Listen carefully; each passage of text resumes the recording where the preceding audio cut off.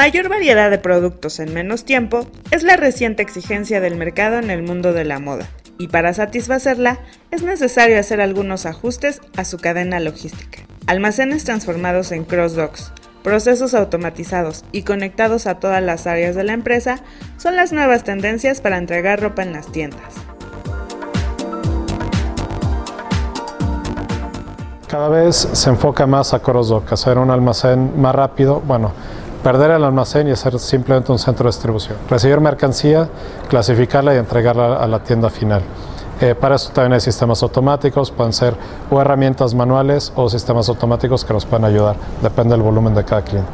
Es tener el almacén alineado con todas las políticas de la empresa para poder sacar la ropa en tiempo, en forma y en cantidad sobre todo, ¿no? para poder suministrar tal cual la demanda que tengan las, las, tiendas. Desde mejores métodos de trabajo, que es simple consultoría y aplicar nuevas formas de trabajar y mejores formas de trabajar, o de plano empezar a integrar con soluciones físicas de logística, estanterías, transporte aéreo, eh, movimiento de materiales, banda, rodillos, y de ahí hasta el otro extremo que es sistemas de gestión de almacenes para tener control absoluto de lo que pasa dentro de nuestro almacén.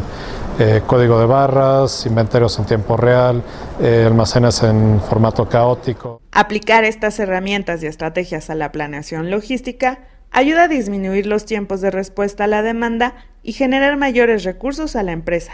De no hacerlo, podríamos generar pérdidas materiales y financieras. Ventas perdidas, tener sobreinventario en, en, el almacén, no saber dónde está, no saber qué tienes en realidad y seguir produciendo cosas que puedes tener en el almacén y también tener olvidados saldos que te ocupan espacio para el nuevo producto.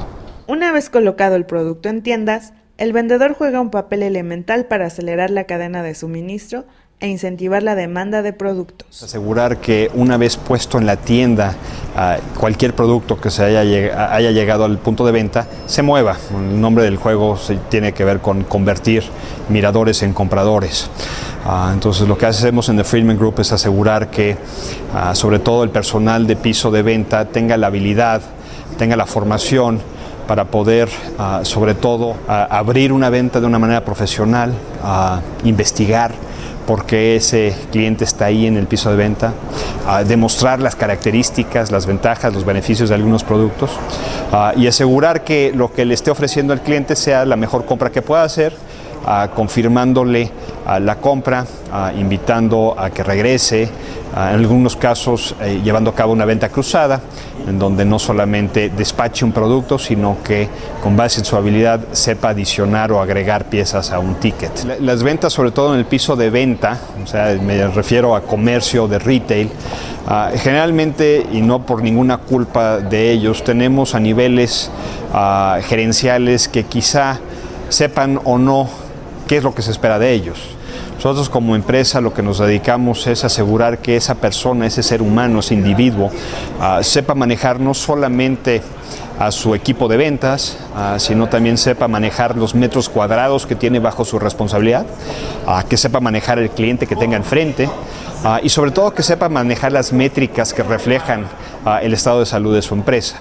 Entonces, nosotros digo, más que ser una empresa de técnica de venta, somos una empresa que forma gerentes de tienda o gerentes de sucursales para que tengan un piso de venta productivo, eficiente. Temas que son importantes para nosotros son medición de ciertas estadísticas comunes de retail, uh, pero quizá igual de importante es cómo compartir o cómo analizar esa información y cómo comunicarla con uh, eh, niveles intra tienda, ¿no? Para T21 TV, Dainzu Patiño con imágenes de Humberto de la Rosa.